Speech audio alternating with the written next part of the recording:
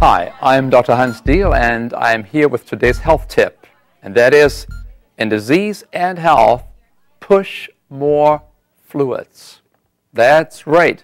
And you say, oh, wait a minute, I'm already taking my four cups of coffee, I have my two soda pops, I have my six glasses to eight glasses of fluids. I got enough. Oh, no. As a matter of fact, when you take caffeinated drinks, you actually are taking now a substance, the caffeine, that is actually a diuretic. It pulls water out of your system.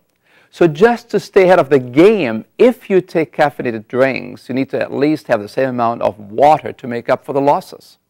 So you're not even ahead of the game. But if you want to be ahead of the game, then you have to drink more water.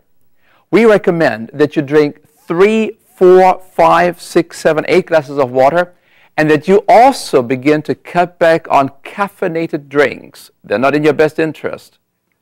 Push fluids. After all, the body is 70% water.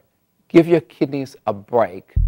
Push more fluids, but the right kind. This is Dr. Hans Diehl with Health Tip for today.